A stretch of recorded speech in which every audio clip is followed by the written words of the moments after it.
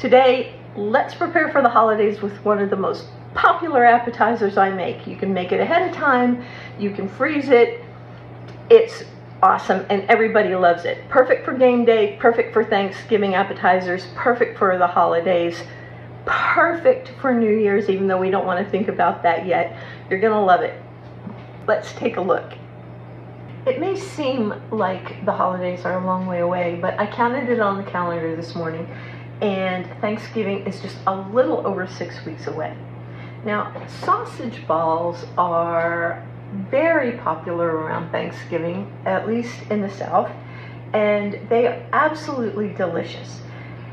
The thing about it is, is they freeze really well. They're super easy. They are great for um, game day, tailgating, any kind of snacks. So I think the trick is, is to make a bunch of them now, serve them for um, you know, your football parties and your get-togethers and make extra and toss them in the freezer for the holidays. They're so easy, quick to put together, and um, you can actually cook them at least two different ways. Now, some people do them in the microwave. I've never tried, but you can do them in the oven and you can do them in the air fryer, and I'm going to show you how to do both. So what we have here is a pound of bulk pork sausage. You can use regular sausage or hot. We have eight ounces of full fat cream cheese and a cup and a third of baking mix. Um, we have what will be two and a half cups of extra extra sharp cheddar cheese. And I always put about four ounces of chopped chilies in mine that is completely up to you if you want to do it. Um, you don't need to. If you hear jingling in the background, it's not Santa Claus, it is the dog and her collar.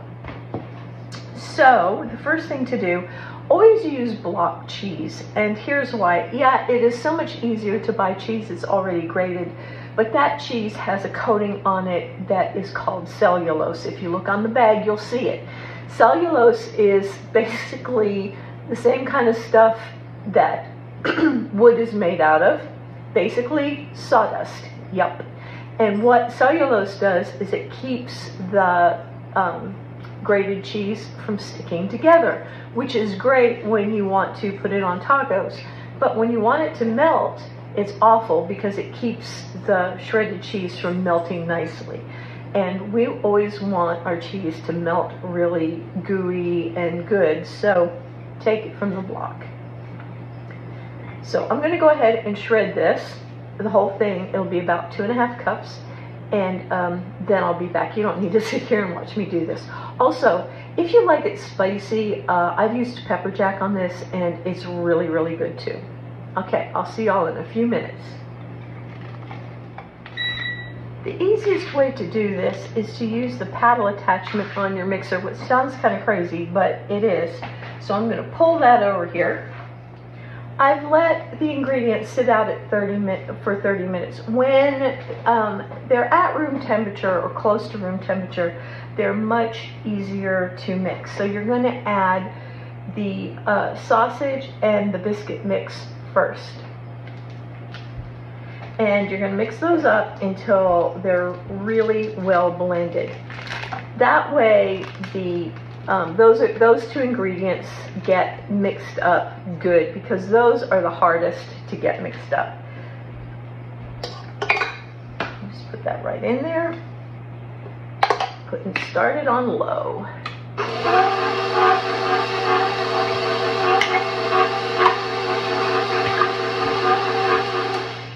To stop once in a while and get your rubber spatula and pull from the bottom and make sure that it's all getting mixed in.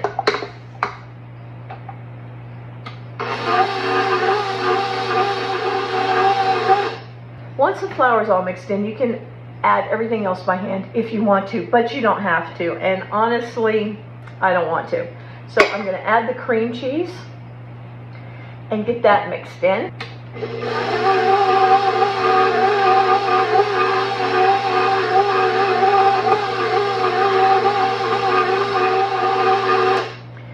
Again, you're going to want to take your rubber spatula and just clean that off because you don't want there to be big lumps of cream cheese in there anywhere. You want it to be all mixed in evenly or as evenly as possible.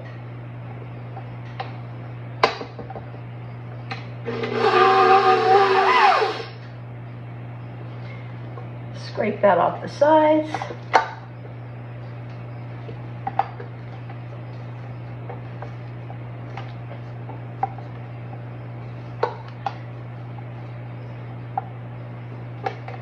Give it one more quick mix.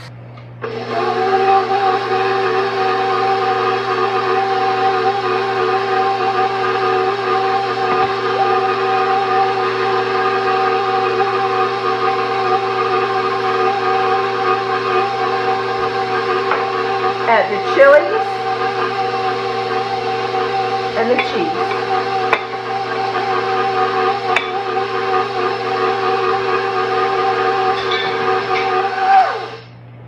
And that is all you need to do. You now you want to get that all scraped up. Bring the bowl down. And get it off the beaters. Or the mixer paddle. Be sure to stir it up from the bottom and pull it off the sides to make sure that it's all mixed in there pretty evenly and pretty well. You don't want any um, lumps of cream cheese. You don't want any patches of dry biscuit mix or baking mix, whatever you want to call it. Now you can line this with part. You can line your baking sheets with parchment. Make sure that they're high-sided uh, because there will be grease a little bit but you want to line the baking sheets with parchment or grease them because the baking mix will cause it to stick and burn if you don't. I like to use a melon baller or a small um, cookie scoop to help me get the right amount of, um, of our mixture so that these are basically the same size. And you want it to be about the size of a walnut. roll it together and it is pretty messy at this point.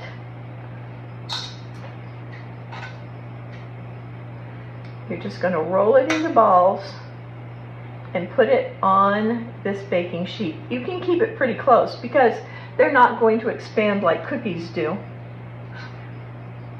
They're just going to bake nice and tender. Now I like mine with a crispy outside and a tender inside, so I bake them at 400 degrees. If you like them to be just tender, I'm going to move these back a little bit so I can get more on. If you like these to be just tender all the way, you can try them at 350. I'd suggest trying them uh, one batch at one and one at the other to see which you like best. And then marking that down on your recipe and going with your favorite temperature from then on. It's always good to experiment. So what I'm going to do is I'm going to make these into balls. And obviously, y'all can figure out how to do that. you don't need to sit here and watch me do that. And then I am going to put them in the refrigerator for about 15 minutes just to chill. Uh, my recipe is probably a little stickier, a little wetter than some recipes because of the chilies in it, but I promise you these are absolutely delicious and so worth it.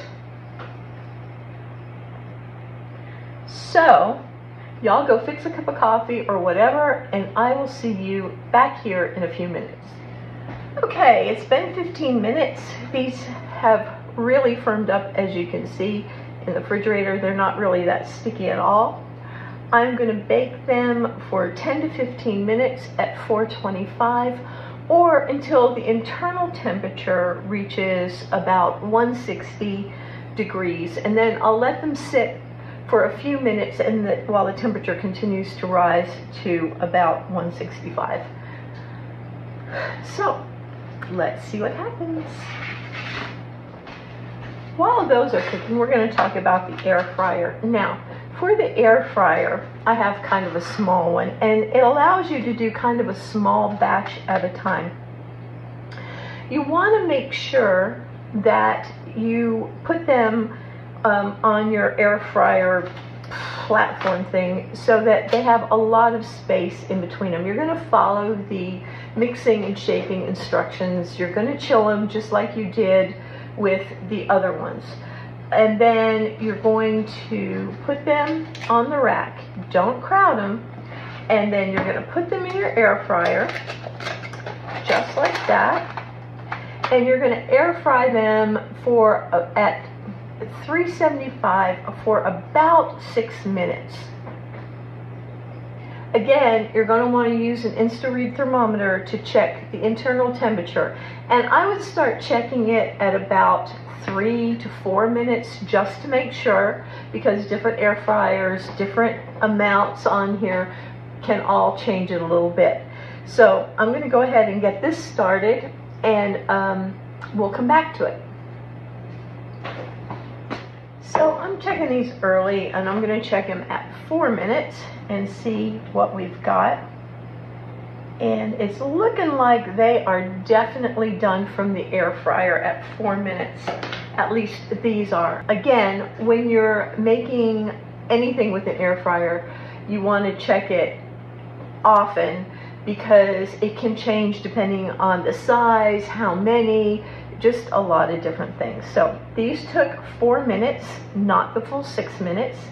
And um, they have, ooh, those are hot. They have a crispy outside.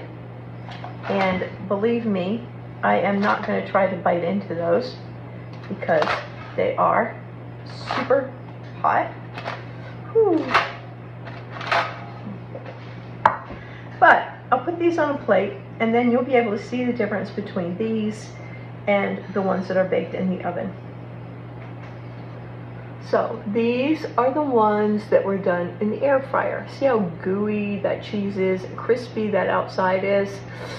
Ooh, I think I can't resist taking just one. Mmm. And the sausage balls done in the oven are definitely done. So we're gonna let those cool off a bit. But as you can see, even at the 425, the, um, the ones done in the oven have a more tender outside, where, where the ones done in the air fryer have a crisper outside. So that's the main difference. Try them both ways and see what you like better. And then if you do them at 375, they have even a less crisp outside. And believe me, that is hard to say. We're gonna let these cool for a minute and then we'll take a look.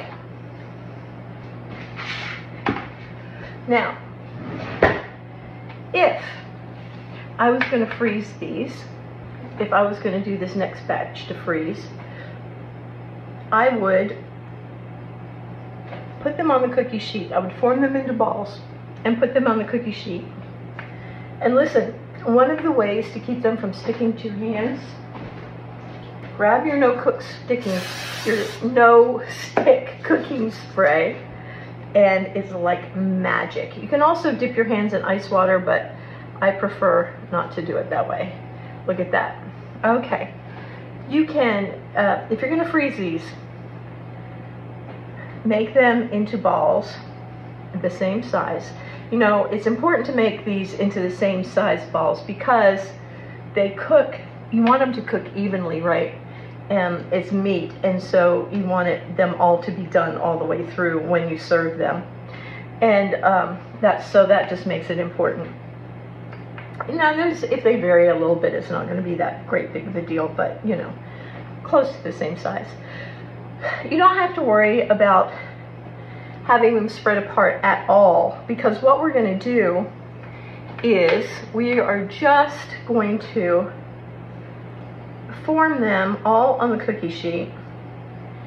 And then I'm going to slide that cookie sheet right into the freezer and flash freeze these for about an hour and a half until I'm sure that they are frozen solid. Once they're frozen solid, I can take them off the cookie sheet and dump them right into a um, a Ziploc bag, freezer bag, or I can put them in an airtight freezer container with like parchment between the layers and then freeze them for up to three months. You know what? I told you that right now we are roughly six weeks away from Thanksgiving. So if I have a freezer container full of these things, unfrozen, uh, frozen, unbaked, with parchment between the layers, that means that I can, at any point in time, go into my freezer, grab as many as I need for my party or whatever, throw them in the oven for, you're going to want to add a few minutes to the cook time or the bake time because, you know, you're baking them from frozen. So let's say you're going to want to put them in there for 11 or 12 minutes instead of 10. But again, be sure to check with your uh, thermometer. And I'm gonna have fresh sausage balls without any mess or without any problem, and I'm gonna have them right then. It's such a good way to always have, you know, what you need on hand for the holidays. Hang on, let me wash my hands and start over. I don't know about you, but I can't stand when my hands start getting all that goo on them. All right, so what was I saying? So when you have stuff like that in the freezer ready to go, you are so organized, you're so ready for anything. Um, I like to keep appetizers like this in there, unbaked. Um, I like to keep uh, pie like that, my um, lemon icebox pie in the freezer. I think, no, I don't think, I know that the, there's a video for that up here. Um, and I know that the recipe's on the blog. Uh, I like to keep that in there. I like to keep the cloverleaf rolls. Um, I do my own brown serve rolls with those.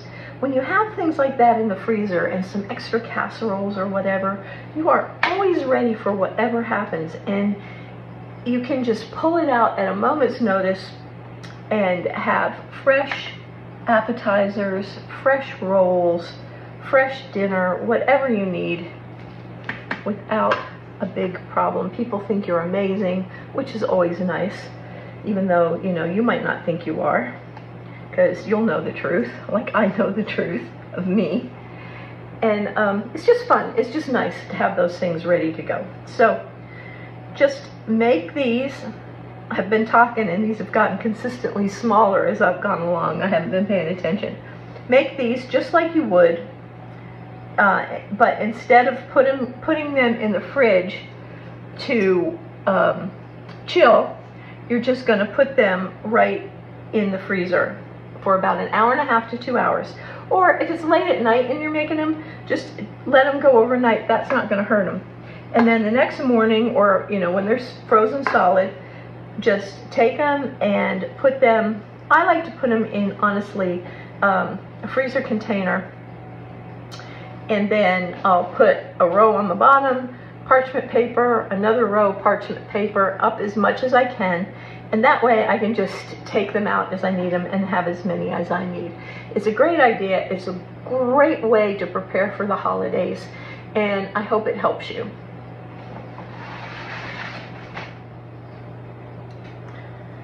So these are the ones that we did in the air fryer, a little crispier on the outside. And these are the ones we did in the oven, a little gooier on the outside. They're both really, really delicious. They're both really, really yummy.